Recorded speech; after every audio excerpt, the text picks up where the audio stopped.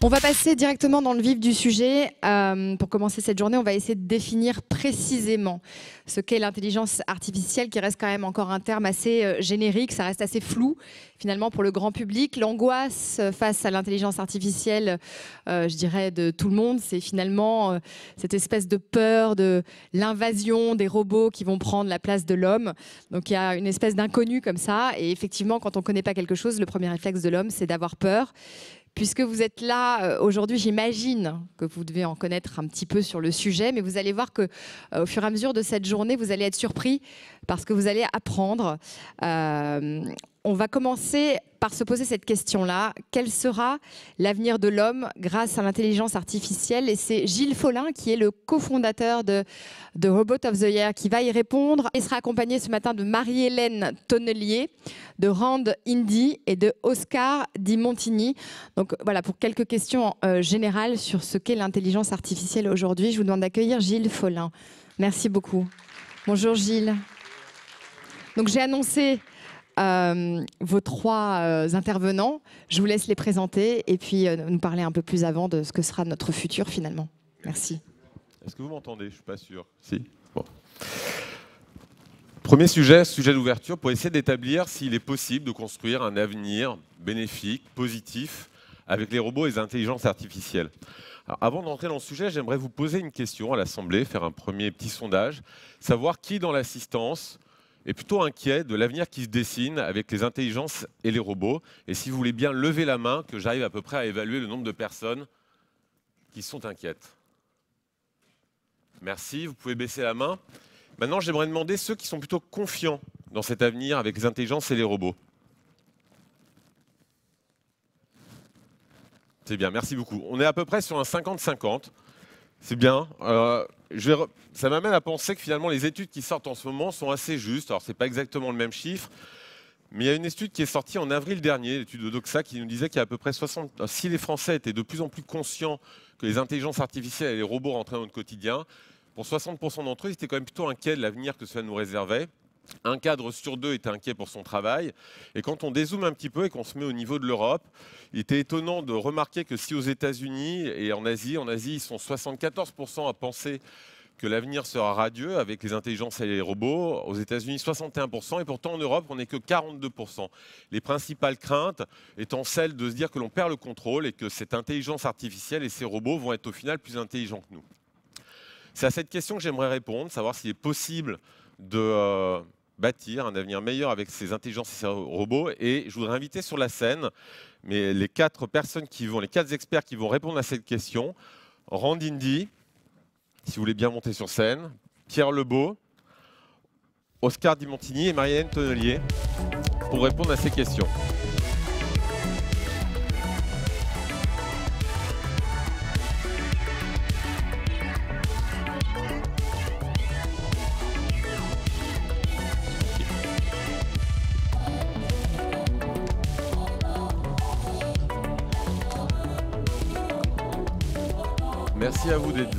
Pour débattre sur ce sujet. Vous êtes quatre experts. Je vais vous présenter très rapidement et après je vous poserai une première question. Marie-Hélène Tonnelier, vous êtes avocate au cabinet La Fonderie Wolfram, spécialisée experte dans les nouvelles technologies. Pierre Lebeau, vous avez créé le robot Kicker. Randindi, vous êtes data scientist et CEO de Snips, une société qui développe des intelligences artificielles. Et Oscar Di Montini, vous êtes le directeur de l'innovation de la banque Mediolanum, une banque italienne, mais aussi l'auteur de deux best-sellers, Économie 0.0 et the, Edge of the New Heroes. Ma première question va à vous, Randindi. Une espèce de peur autour des robots et des intelligences artificielles. Pensez-vous qu'il soit raisonnable de penser que le monde vers lequel on se dirige sera asservi, enfin sera régulé, sera euh, dirigé par les intelligences artificielles et les robots? Et derrière cette question-là, si vous le voulez bien, j'aimerais bien que vous nous précisiez rapidement ce qu'est une intelligence artificielle et surtout quelle différence faut-il faire entre une IA faible, une IA forte et ce qui pourrait être une intelligence émotionnelle artificielle? Alors, euh, bon, je pense que tout le monde a déjà entendu parler d'intelligence artificielle, non? Euh, personne vraiment s'accorde sur la définition, mais il y en a une que j'aime bien utiliser, où en fait une intelligence artificielle, c'est tout simplement reproduire un comportement humain dans une machine. Il peut être plus ou moins compliqué. Il y a tout un tas de différentes technologies qui existent pour faire ça.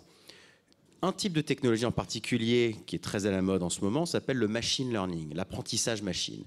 L'idée, c'est que plutôt que de programmer une machine pour faire quelque chose, on va lui donner des exemples du comportement et la machine va apprendre à partir de ces exemples à reproduire ce comportement.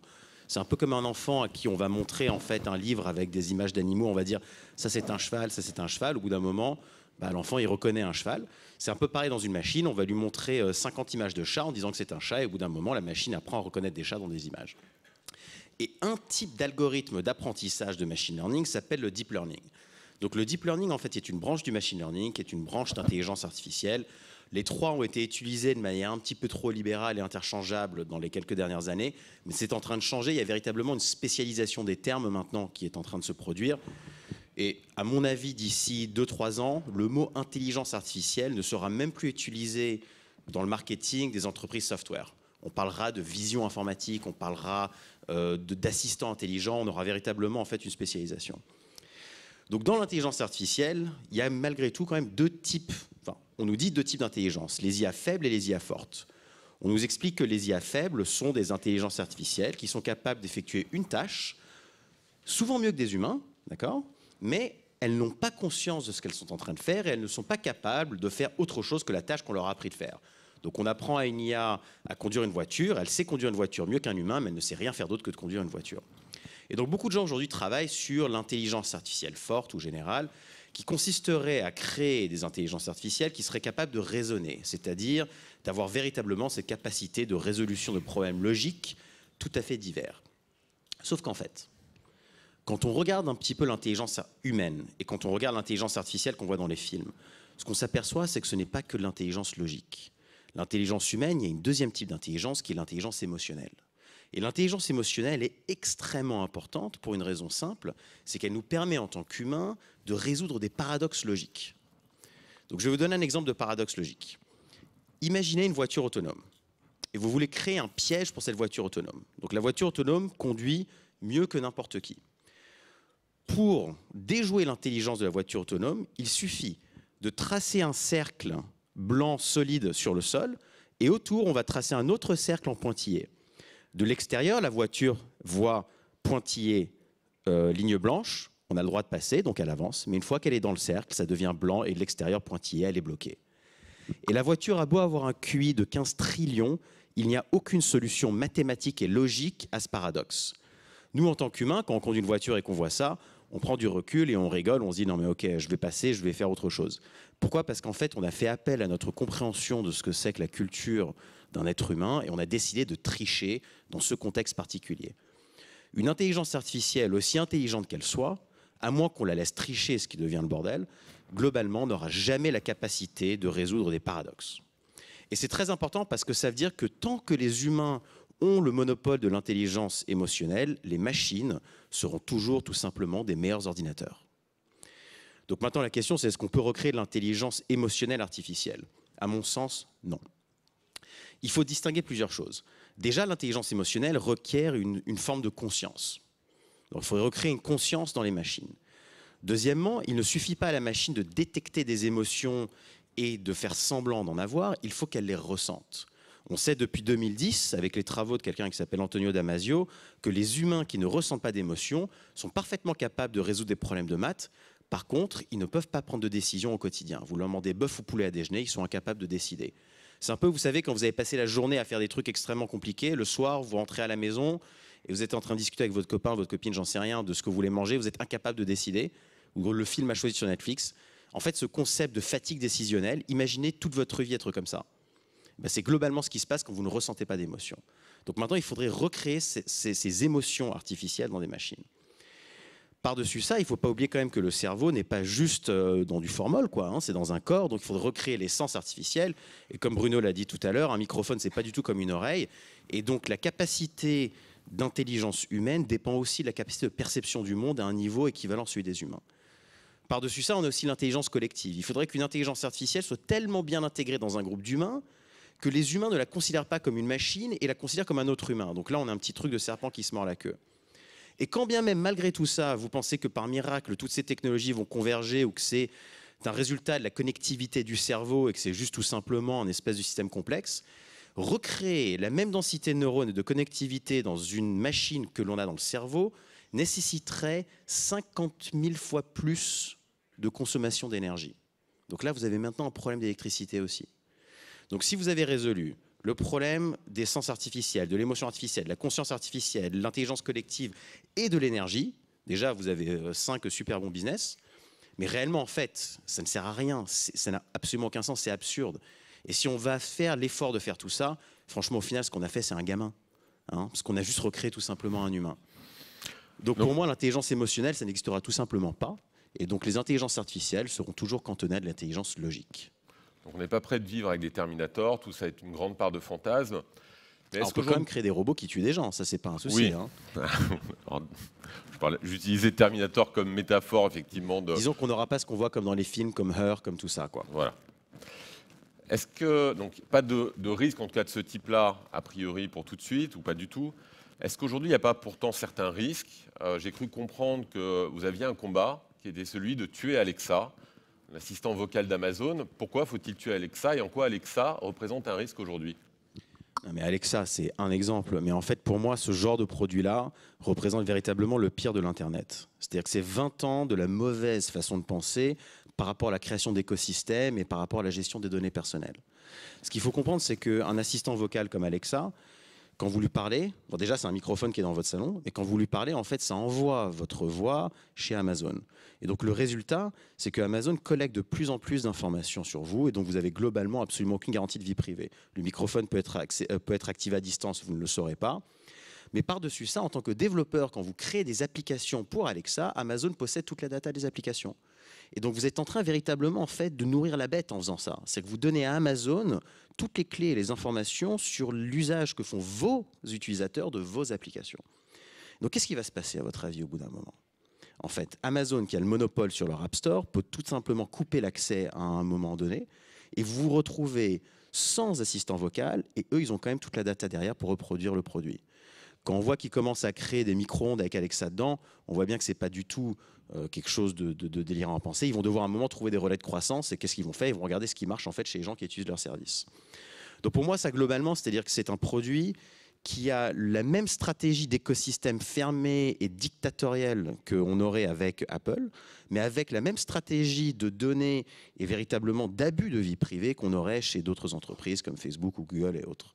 Et donc c'est vraiment, pour moi, on est arrivé vraiment à ce point où ça n'a plus aucun sens. Ou comment est-ce qu'on peut créer des écosystèmes fermés où on n'a globalement aucune vie privée et comment est-ce qu'on peut laisser faire ça? Et je pense qu'à partir de là, on va voir une vraie bascule en fait dans les, objets connectés, dans l'intelligence artificielle, où les gens vont véritablement se poser la question de ce qui se passe avec leurs données.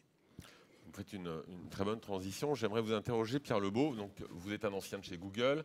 Vous avez participé à la création, au développement de produits qu'on connaît, tels que Google Analytics, Google Voice ou euh, Google Earth. Vous avez décidé de quitter Google il y a six ans pour créer un robot, Kicker, qui est un robot qui évolue dans la maison. ma première question est la suivante. On a de plus en plus de devices aujourd'hui, des smartphones, des laptops, euh, des réfrigérateurs intelligents ou du moins connectés, des thermostats qui se battent un petit peu pour récupérer notre attention, notre attention qui sont un peu intrusifs, euh, qui nous envoient des notifications. Euh, en quoi Kicker n'est pas juste un device en plus. Qu'est-ce qui a motivé la création de ce robot-là? Et finalement, quel est le, le grand problème que vous avez voulu résoudre en créant Kicker oui, justement, il y a énormément d'objets historiquement dans la maison et, de plus en plus avec euh, tous les objets connectés. Et moi, c'était il y a six ans, je voyais cette vague qui devait fonctionner de l'IoT et de me dire que ma maison allait ressembler à un magasin d'arty et, et c'était vraiment pas quelque chose que j'avais envie de, vivre. Euh, donc vraiment pour rentrer dans euh, une solution pour décomplexifier sa maison. Comme on a décomplexifié ses poches, avec son smartphone qui a remplacé son GPS, euh, son, son, iPod, son téléphone, euh, sa console de jeu, etc. Euh, et, ça, c'est cette convergence qu'on cherchait à essayer d'imaginer quelque chose qui soit mobile, puisque nous sommes mobiles dans une maison, euh, et donc qui se déplace avec nous pour nous fournir les services dont on a besoin. Et on s'est concentré sur des choses très utiles, de l'image, du son, euh, de la communication, de la sécurité, et, et des données comme la température ou des choses comme ça plutôt que d'avoir euh, plein plein d'objets dans toutes les pièces. Parce qu'une maison, si on veut savoir la température de la chambre, il faut que ce soit dans la chambre. Mais on n'a pas besoin d'y être tout le temps. On peut y aller peut-être 5 minutes, prendre la température et, revenir et faire des petits tours. Donc c'était vraiment notre, notre base de dire on va simplifier cette expérience technologique avec une machine qui se déplace, qui comprend notre environnement, qui peut nous suivre euh, et avec qui euh, on peut parler et on travaille notamment du coup avec Snips, donc on les connaît bien. Euh, c'est vraiment bien Kicker. J'en ai un à la maison, c'est vraiment cool pour le coup. Hein. Et merci. Je vous invite à en acheter à la maison aussi. En plus, il y a Black Friday en ce moment. Bref. Euh, du coup, euh, ça, c'était notre volonté de simplifier cette expérience technologique pour éviter d'avoir des câbles, des fils, des objets, etc. parce qu'on a de plus en plus besoin et envie d'avoir un peu tout partout tout le temps c'est l'évolution. Et, donc, pour nous, il manquait une innovation qui ramène de la convergence, de la simplicité dans la maison, euh, sans non plus euh, être euh, un espion. le but, c'est vraiment plutôt d'être une aide pour nous, utilisateurs. Donc, on crée de l'utilité, on simplifie la vie des gens. On voit bien, c'est le, bénéfice immédiat. Alors, une petite question qui s'adresse à vous deux, puisque vous, travaillez ensemble. En tout cas, vous avez un, un champ de collaboration. Anne, vous parliez d'Alexa qui euh, pouvait nous espionner en laissant le micro ouvert, etc. Alexa est posée dans une pièce, ne bouge pas. Kicker euh, dispose de micro, peut capter euh, les conversations, une caméra, il peut filmer pendant qu'on est là ou n'est pas là, il peut se déplacer. Est-ce que finalement, c'est pas Alexa un peu en pire? Et comment vous, finalement, vous garantissez ce qu'on appelle le, le, privacy by design? Comment vous garantissez cette protection des données et le fait qu'à un moment, on va être tous fliqués? Par ces objets intelligents bah, du coup, sur Kicker, c'était vraiment le design à la base était là-dessus. Ça veut dire qu'on est parti sur une base qui ne communiquait pas du tout. Euh, à part le contrôle d'accès euh, des, personnes, mais fondamentalement c'est juste des, comptes. Euh, et à partir de là, on a intégré des services Snips c'était très intéressant pour nous parce que justement ça fonctionnait en local et donc ça avait beaucoup de, de valeur ajoutée. Ça n'avait pas besoin d'avoir Internet. Donc si dans une pièce, dans une maison, je n'ai plus Internet, ça arrive je peux quand même fonctionner et faire fonctionner la commande vocale plutôt que de dire euh, ah, je n'ai pas compris, je n'ai pas Internet, euh, réessayer une autre fois. Encore une fois, dans un objet comme Alexa qui est peut-être fixe, c'est pas trop le souci, mais dans un objet qui est mobile, on a tous chez soi un petit coin où euh, Internet n'est pas forcément hyper actif. Donc ça, c'était important. et après, tout ce qui est caméra, c'est dans la même logique. Là, c'est plutôt notre système, mais c'est complètement local sur la machine. Et nous, notre façon de designer de l'intelligence dans le robot, euh, c'est d'entraîner des modèles chez nous, euh, nous-mêmes, et ensuite de pousser euh, des, modèles plus intelligents, plus formés sur les robots individuellement. Mais on ne va pas se servir de la donnée qui est capturée chez l'utilisateur. On ne va pas vous prendre en photo le matin dans votre douche pour savoir à quoi vous ressemblez. C'est pas intéressant. mais par contre, il y a plein de choses qui sont intéressantes et qu'on apprend nous-mêmes. Et en fait, on a un apprentissage externe donc qui est fait par nous, avec nos librairies, qu'on va pousser après dans les robots. Donc ça va que dans un sens. Euh, et je trouve que c'est ça qui est le, plus euh, sécurisant. Et typiquement, par exemple, pour la caméra, si une caméra est utilisée, que ce soit même par nous ou par n'importe quoi, il y a une lumière rouge qui s'allume dessus. Donc même si, euh, si on est là devant son robot, on le voit. parce que sinon on ne pourrait pas le voir du tout. Et ça, c'est quelque chose de très bas niveau qu'on ne peut pas couper. donc euh, c'est une façon de voir les choses et, euh, notre idée c'était justement de respecter, euh, moi je pousse vraiment les développeurs à, dire non, on ne prend pas les données des, clients, des utilisateurs. D'abord, on essaye de nous former nous-mêmes et puis on pousse, on regarde les statistiques, on regarde comment est-ce que ça, on a amélioré les services et après on, continue en ITER. Mais vraiment D'une certaine manière, cette régulation, ces principes éthiques, qui sont appliqués aussi dès l'amont quand on conçoit le projet, dans le respect de la, vie privée, etc. pour faire un petit peu un pont, je ne sais pas si certains ont déjà vu euh, Kicker, c'est un petit air de R2D2. Moi, il me fait penser aussi à un personnage qui est le premier robot qui apparaît dans l'œuvre d'Asimov, Robbie, qui est un petit robot qui euh, s'occupe d'une gamine euh, pour la divertir, pour la surveiller. Et pourquoi je parle d'Asimov? Asimov a écrit dans le cycle des robots les lois de la robotique, trois lois plus une. Est-ce que c'est viable de penser qu'on puisse réguler? Est-ce qu'il est nécessaire de réguler les robots et les intelligences artificielles, d'établir des lois, soit qu'on injecte à l'intérieur même de la machine, ou soit qu'ils viennent définir un cadre pour les utilisateurs. Moi, je pense que pour toute régulation, et ça c'est plus philosophique, il faut d'abord avoir une activité qu'on comprenne, euh, et ensuite derrière, une fois qu'on la comprend vraiment, que ça arrive à un tout petit peu à maturation, qu'on démarre dans un aspect euh, législatif, parce que sinon on risque un peu euh, tuer l'innovation trop tôt. Euh, après, il y a de la conscience. Je pense que Rand et, moi, on est vraiment très conscients de l'impact que ça peut avoir. Et, c'est plus, enfin, pour, moi, c'est aussi à nous, en tant qu'entrepreneurs, de, faire ce qu'on veut. Et, vous, d'une certaine manière, en tant qu'acteur ou client ou autre, de demander ça. Je pense que ça, c'est très, très important. Peut-être pour ajouter, alors déjà pour les, aspects sur les assistants vocaux, euh, aujourd'hui il faut comprendre quand même qu'il y a une différence entre les interfaces vocales et les assistants vocaux. En fait, un assistant vocal, c'est quoi? C'est une interface vocale avec des applications vocales par-dessus. C'est une plateforme en fait. Euh, nous, aujourd'hui, chez Snip, ce qu'on a développé, ce que Kicker a intégré, c'est une technologie qui permet à Kicker de faire ses propres applications vocales pour son robot qui n'est pas du tout exclusif d'Alexa. C'est-à-dire que vous pouvez très bien mettre à la fois Alexa et Snips et vous avez juste deux mots pour déclencher l'un ou l'autre. Si vous dites euh, Hey Kicker, ça déclenche Snips. Si vous dites Hey Alexa, ça déclenche Alexa.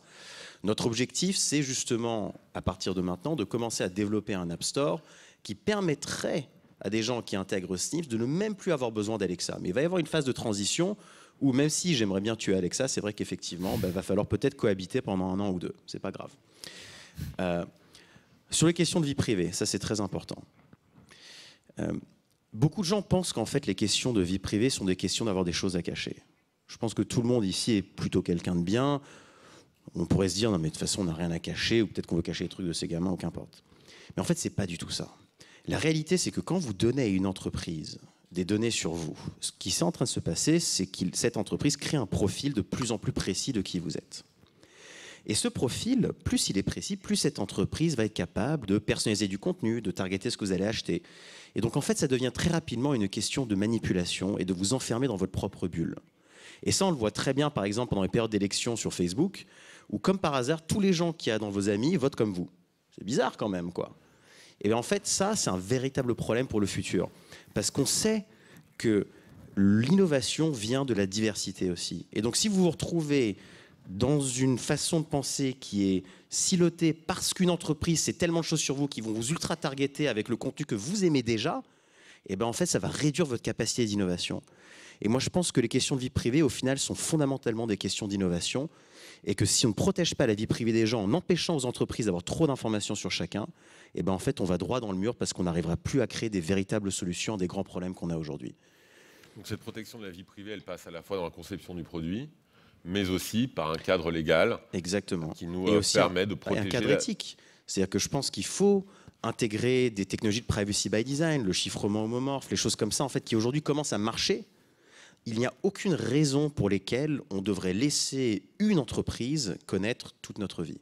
On devrait pouvoir choisir ce qu'on veut donner à cette entreprise pour le service qu'on veut lui donner, et on devrait pouvoir se cacher quand on a envie de se cacher sans nous obliger en fait à tout dévoiler sur nous-mêmes. Marianne Tonnelier, vous êtes, euh, le, sujet tombe bien, vous êtes euh, avocate au cabinet La Tournerie Wolfram. Vous avez été jusqu'à très peu la présidente de l'AFCLA,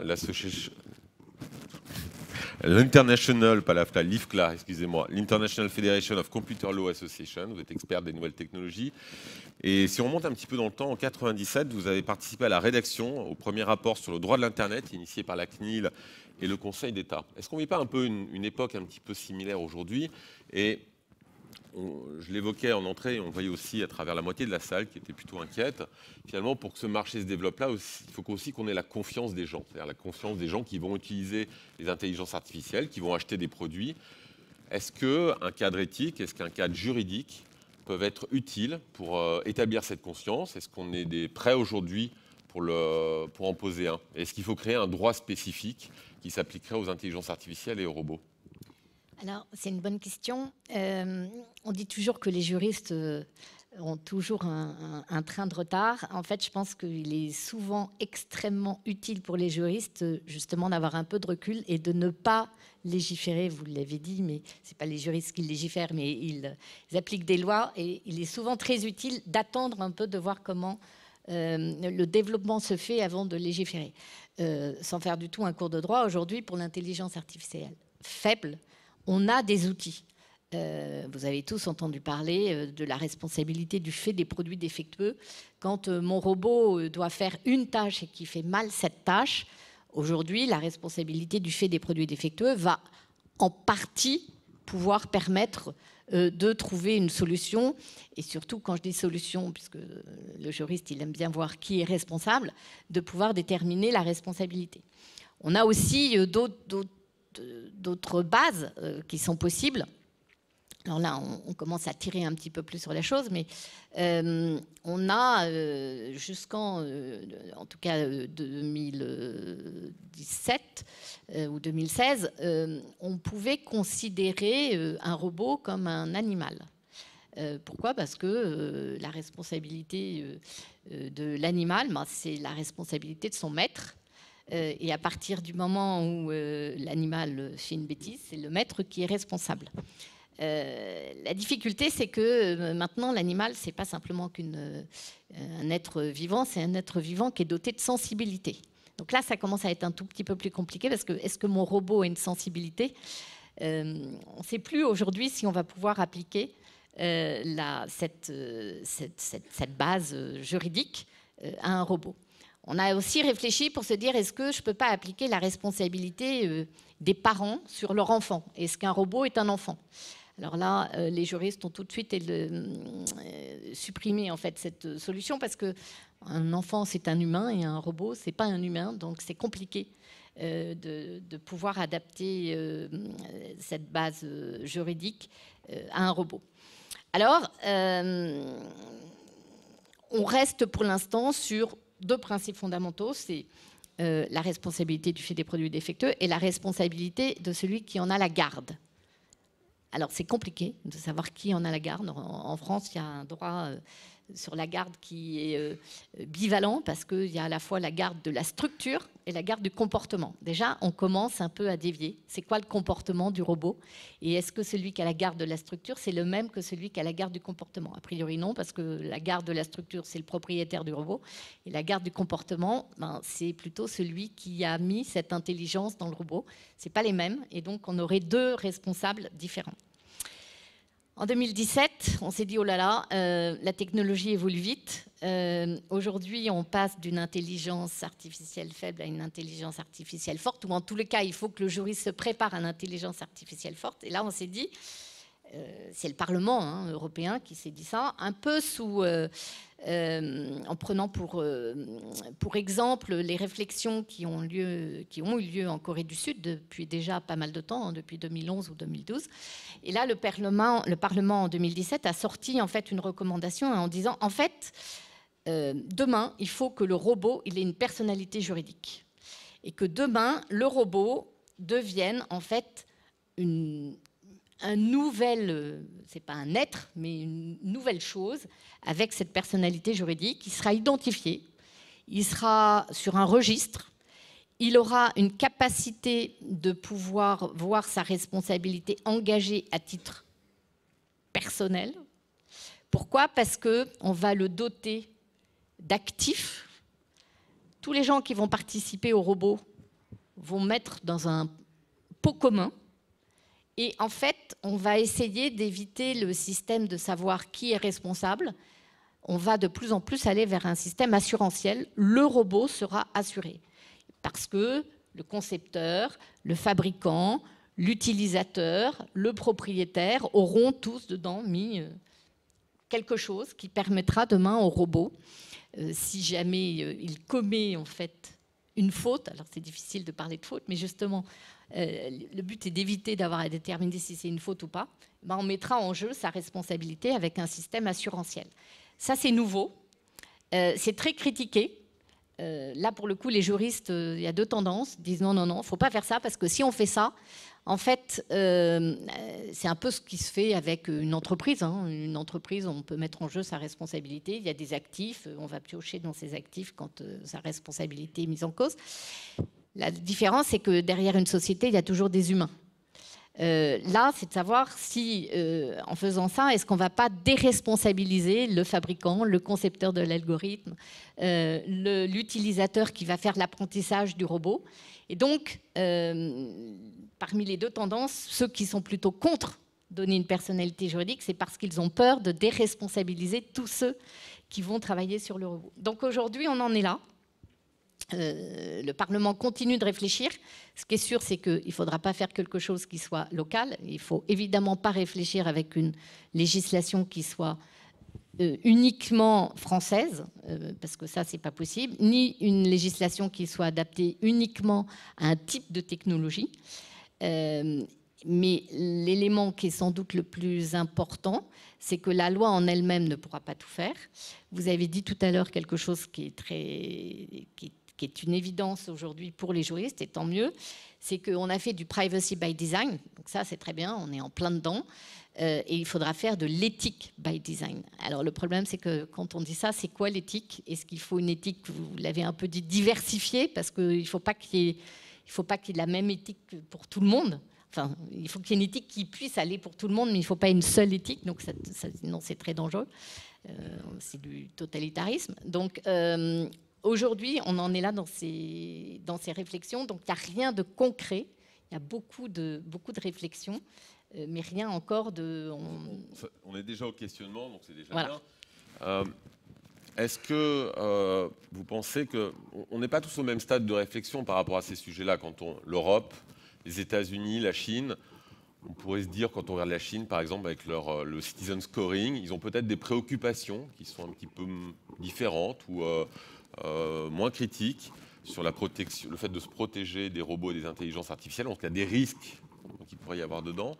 Est-ce que euh, le fait de, réfléchir à un cadre éthique euh, et un cadre juridique, c'est finalement pas une forme de frein? On parlait déjà tout à l'heure, vous avez référence au frein, de frein dans cette compétition internationale. Est-ce que l'Europe, avoir se positionner sur l'éthique, ne risque pas d'amoindrir ses chances de compétitivité? Alors, peut-être à court terme, mais pas à long terme, à mon avis, parce que justement, c'est peut-être une façon de se différencier. Je pense que si on fait quelque chose d'éthique, finalement, ça peut être un élément un peu vendeur. À un moment donné, on a dit, euh, quand on a fait le règlement européen sur les données, on a dit peut-être qu'effectivement, entre guillemets, on emmerde le monde avec ce règlement, euh, sauf les juristes. Parce que pour les juristes, c'est une excellente année, hein, l'année euh, de la mise en œuvre du règlement sur les données. Mais trêve de plaisanterie, en fait, je pense que c'est aussi une façon de pouvoir se, différencier euh, en mettant un peu d'éthique. Et, je ne suis pas sûre qu'à long terme, ça soit euh, contraire à l'innovation. Par contre, euh, il y a un élément aujourd'hui qui me semble important. euh, sur lequel euh, j'ai pas du tout de réponse, euh, qui est un problème de propriété intellectuelle. Euh, aujourd'hui, le robot, euh, en tout cas peut-être pas aujourd'hui, aujourd'hui, mais demain, le robot, il sera capable sans doute de créer des choses. Euh, Jusqu'à présent, la création, elle ne vient que de l'humain. Euh, et là, les textes, que ce soit en France, aux États-Unis ou en Asie, ça n'existe pas. Un robot ne peut pas être titulaire d'une création intellectuelle. Euh, et ça, par contre, je pense que ça sera nécessaire à la fois pour protéger, peut-être pas le robot, mais ceux qui ont fabriqué le robot, de déterminer une structure juridique pour permettre que la création qui résultera en fait de, alors je sais pas c'est la conscience, de l'intelligence du robot, euh, de ce que tout à l'heure Bruno Maisonnier euh, montrait lorsque effectivement un robot sera capable d'intelligence et pas simplement de recracher des informations qu'il a eues grâce aux données qu'on lui a injectées.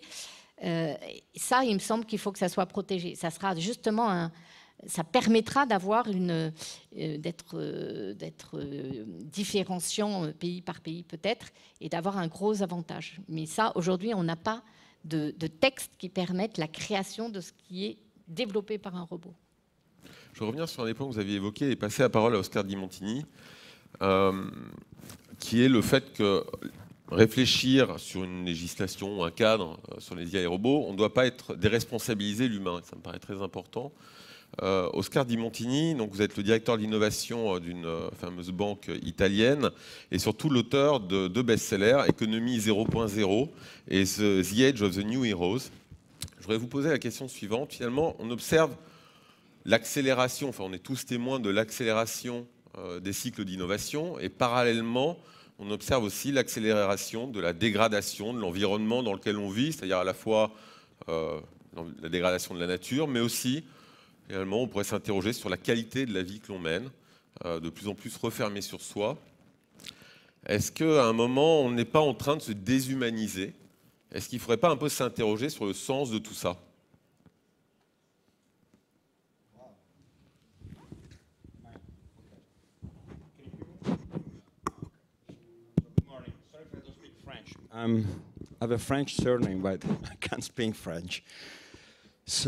That's a tough question. Um, yeah, I work for a bank, so I might not be the right person to, to, to give an answer, but uh, something about my background.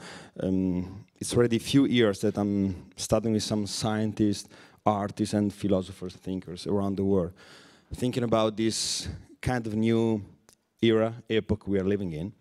And uh, it was very interesting listening to my colleagues talking about future and uh, regulations and uh, new discoveries and all these interesting thoughts. Um, I think that the main question that we should ask ourselves as human beings um, is about the sense, about the purpose, about the meaning of all this. I'm an alumni also of the Singularity University. I don't know if any of you know the place. It's based in uh, the Silicon Valley. It's kind of yeah, I spent some time at the NASA research camp with some scientists talking about future. That was a very strong experience. It was very interesting to observe these people working on the future without asking themselves exactly the meaning of what they were doing, what they were working on. I'm sure that all of the people working on robots, AI, big data, any kind of analysis for the future are humans. Uh, my main question is, uh, do we have clear in our minds which is the sense of all this. I don't think we can, we, we were having a chat before we were starting this morning, talking about should we go a bit slower to go back somewhere? I don't think so. Uh, I don't believe too much in the 3, 4, 5.0 of anything. It's a kind of marketing stuff at the moment. That's why I try to provoke the word talking about a kind of a 0.0 approach, which is uh, let's focus on the sense. We can't go slower.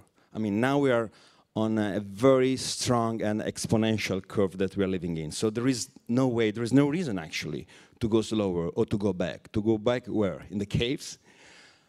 I think we should be very much focused on the sense. Um, years ago, I had the chance to meet uh, Tara Gandhi, she was the niece of the Mahatma Gandhi, actually the daughter of the fourth son of the Mahatma Gandhi. She used to live with the Mahatma Gandhi in the ashram in India for a few years. And uh, there is a very interesting letter she wrote me that I published in the book. Uh, it's about silence. And she told me once, Oscar, you know, my grandfather used to tell me, Tara, the speed doesn't make the difference if you go in the wrong direction. So the main questions about whatever is the direction. We have been able, as a humankind, to divide the autumn, okay? We haven't been able yet to divide bread. So all these amazing minds should be very much focused also on the sense. Uh, we are not missing intelligence, actually. We have a lot of intelligence. We have the um, most evolved human uh, species living on the planet we should wonder. I mean, machines are for, are for answers, humans are for questions. So the main focus should be on that. And then everything will follow. Uh, but let's be very, very much careful. I'm very much positive on a long-term future, not so much positive on a, on a middle term. I'm wondering about the short term because uh, mm, when you drive a super fast car, you need to be a very, very, very good driver. And uh, watching TV, reading newspapers, magazines, I mean, this is not the world. This room is not the world, okay? The world is out there. So let's have a look at the world and let's wonder where are we going? Because we must bring an answer. Now there is an urgency. There is no time left. I'm, I'm very confident. I'm very positive, even if I might not sound like that. I have five children, so I'm very positive.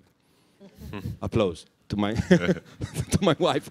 And I'm very positive.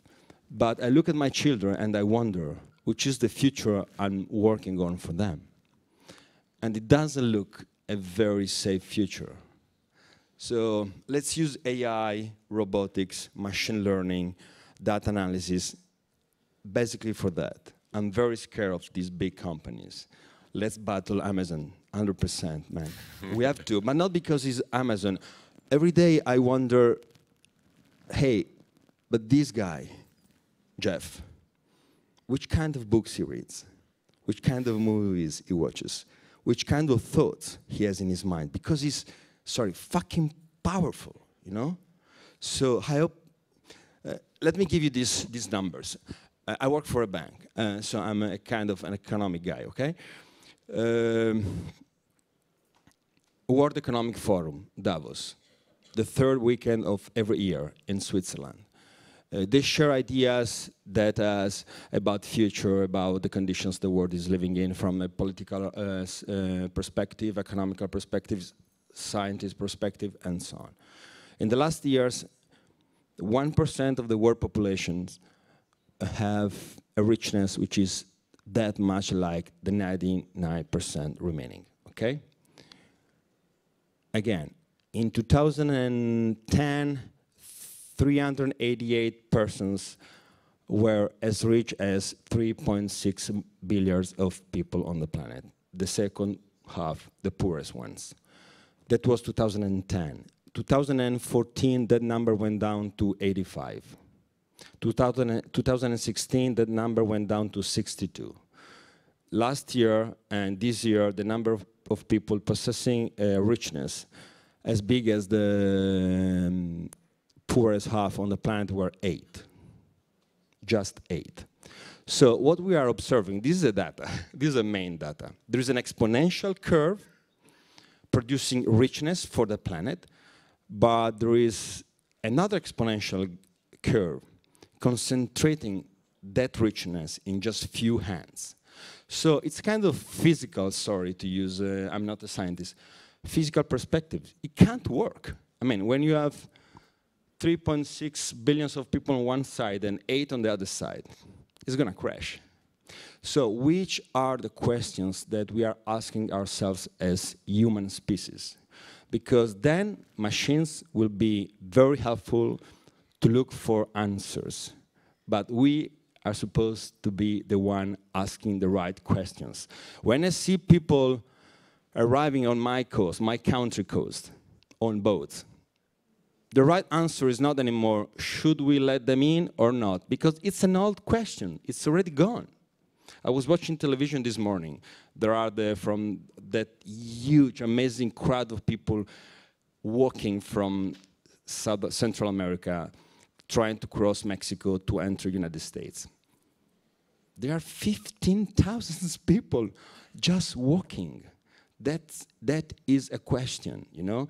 And it's not going to be just a wall blocking that flow, because a wall is something, it's something materic. That flow is liquid. We're living in a liquid society at the moment. So we should change the questions that you're asking ourselves. In that case, welcome Kicker, welcome uh, Alex, welcome whatever. But what is this stuff for? Last, last day, have you seen the, uh, have you watched the movie uh, Fight Club? Do you remember? Yes or not? Yes. Okay. There was a, a very uh, interesting scene. There was Brad Pitt sitting at the table with uh, Edward Norton. And uh, Brad Pitt was a cool guy. And uh, at the moment of the talk, he said to Edward Norton, who was the other character of the movie, we buy things we don't need with money we don't have to impress people we don't like. I'm a marketing guy, okay? I've been a marketing manager for eight years of the third biggest bank in the country. So I'm not saying that I know about marketing, but at least I practice marketing, okay? 230 people, around 100 millions of euros to manage every year, so I know a bit of it. You are coming from the Black Friday. what the hell is that? We should stop this shit, okay? We should move from point A to point B. I mean, we enter a new world. I mean, the next generations are going to face an amazing future, but we must support them in order to lead new questions. We destroyed 10% of the planet in the last 25 years, and the planet is millions of years old, okay? We have a debt of 215 billions of dollars, 325% of the global GDP. That's a bankrupt world. So let's use this intelligence to create a brave, new, amazing, awesome world for the future. Otherwise, we'll get lost. Super rich, just very few of us, attacked by millions of people looking for our richness. Prosperity doesn't mean richness. They're different. Prosperity contains richness. Richness does not contain prosperity. Il nous reste quelques secondes avant de conclure. Je voudrais vous poser une dernière question. Euh, vous parlez de qu'on a le, le, potentiel de devenir des super-héros. Euh, pour changer les choses, quels conseils vous nous donneriez, puisqu'on réfléchit beaucoup sur comment formater, comment imaginer ces intelligences et ces robots, nous, en tant qu'êtres humains? Qu'est-ce que, voilà, un, un, une guideline, un, un, conseil Quels sont nos devoirs à faire? Que, Comment se questionner en, en, un ou deux conseils? Oh, Well, I don't know which questions, but I, I, wrote about new heroes, not superheroes, okay? No, no, because it makes a difference. Sorry to underline it. Because, I mean, uh, the heroes in the ancient times were a kind of demigod, okay? Uh, there was a god coming down from the Olympus and having sex with a woman, a human, a human female, and then she was delivering a baby. Let's say, and the DNA of this guy, of this girl, was half divine and half human. And just growing here by here, this little boy, this little girl, was going to discover that she, he had superpowers. Actually, he, she didn't know exactly why, because the, the, the, the, um, the second half, the human half, was normal, actually was weak, okay? Um, now, big questions have been treated by big humans in the past. Mahatma Gandhi, peace, uh, Mother Teresa, poorness, and Einstein, science, and, um, and so on. Nelson Mandela, racism, Martin Luther King. Okay.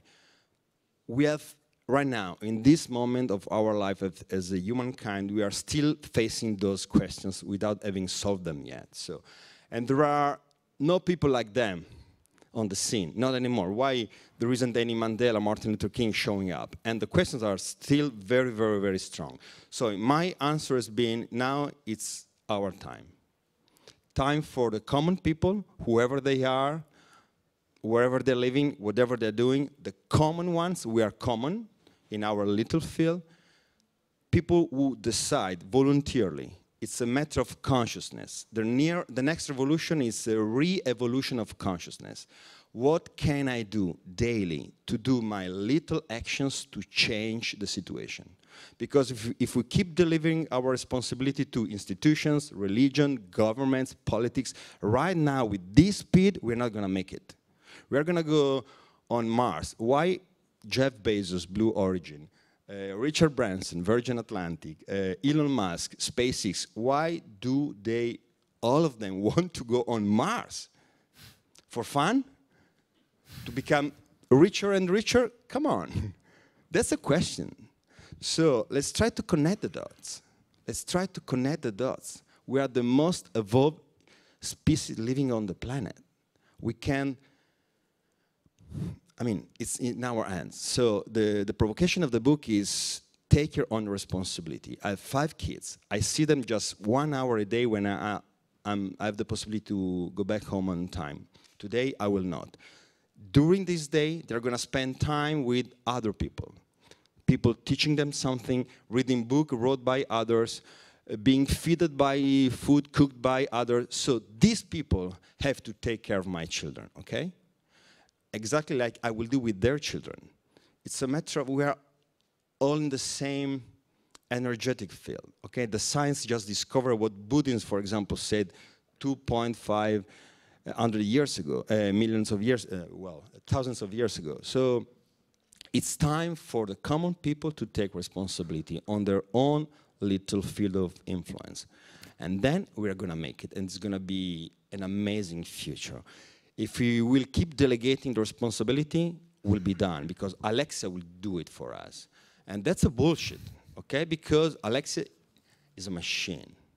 It's going to provide the answers that Jeff Bezos want her to answer to make her buy something with money that we don't have to impress people that we don't like. I mean, that's the point. I mean, that's a very clear marketing flow. Avec des grands pouvoirs viennent de grandes responsabilités. Donc, euh, je voudrais, malheureusement, le temps nous est, euh, est, est- est clos.